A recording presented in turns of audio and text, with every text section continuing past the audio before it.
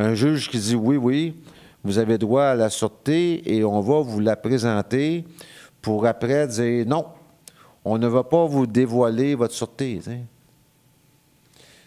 Ça veut dire qu'il confirme deux fois que ça existe vraiment, ce que je dis. Il confirme deux fois que c'est vraiment comme ça que ça fonctionne. Puis il confirme qu'il va me violer mon droit à la sûreté de la personne. Puis même si je lui dis en pleine face, tu sais, vous allez me violer mon droit vraiment?